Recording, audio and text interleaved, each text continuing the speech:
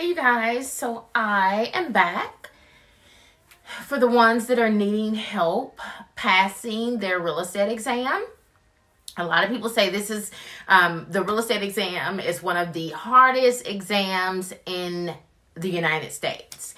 Um, that's what I was told. You know, that it's taken people two, three, four, and even five times to pass the test.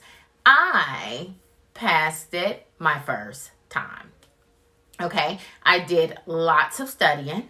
Um, of course, you know, I, I got my, I went part time and I went into a real estate, I took real estate classes um, part time. And I think it may have taken me about three months um, to finish my real estate classes. And um, I'm just going to be honest with you you take the real estate classes. I feel like, in my opinion, you just take the class to get the hours. Actually studying and, you know, going hard after you get your hours and you can do it while you're you're getting your hours is what's going to help you pass the test um, and it just depends on i guess who your instructor is and um, with my instructor, we did a lot of different games and, um, you know, we did tests in the back of the book. And so those things helped. But um, a lot of people just, they consider they're studying reading the real estate book. That didn't help me. I actually had, what I pretty much did is I, in the back of my real estate exam book, um, or study guide, there were tests. And I would constantly take those tests over and over and over until I got high scores, okay? Um, I did take notes when I was in class and I studied those, um, but I didn't go through and just read the real estate um, exam book. I, I just didn't.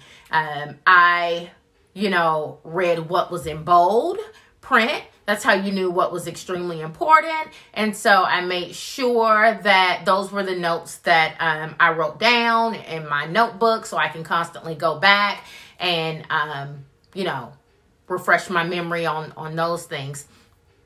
So taking the test in the back of the book, number one, okay? I used a program called Prep Agent. I used YouTube. Um, so I would listen to um, other realtors' YouTube channels um, regarding the test and the questions and things like that. It is so it, it is so important that you study your state's exam. You study you study your state's questions. I'm in Alabama, so I focused on um, Alabama a lot. That was a huge part of um, of our exam here was the state part. And so um let me see what what else I did. I studied every single day for hours in my free time. I used a program called um or website called I believe it was Prep Agent.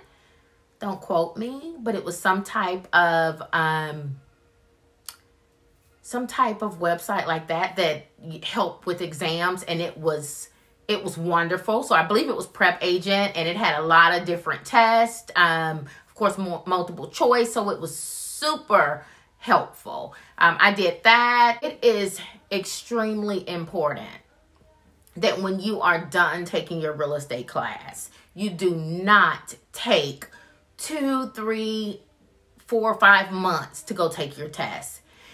Everything is fresh in your head. So it is important to study really hard for a couple of weeks and go take your test. Okay, I took mine after I finished my real estate course. I studied, I went hard for two weeks and I went into took my test and I passed it the first time. Okay, and you don't have to be the best test taker.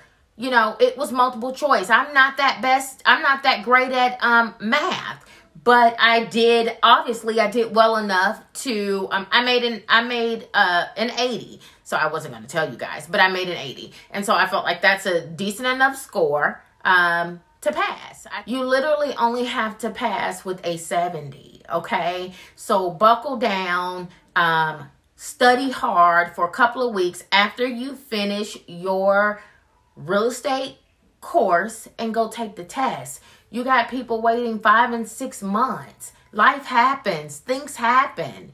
And then you have forgotten, you know, what your instructor um, taught you, and you've decided that you're not gonna, you know, put much focus into studying. And the big part of passing the real estate exam is you have to study. It's not just the class. It's buckling down and studying, okay? And um I mean that's my take on it. Like don't take forever to go take that test. Take it within a couple of weeks.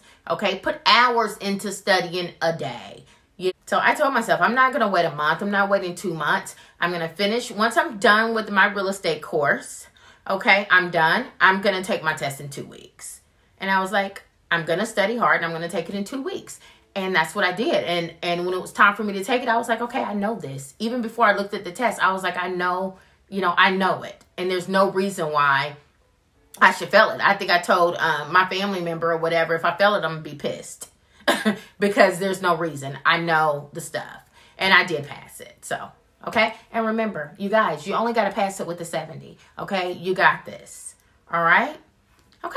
Well, anyway, you guys, do not forget to um, subscribe and like this video. Um, I'm going to be sharing different things, you know, my life, vlogging, and real estate. You guys have a great day. Bye-bye.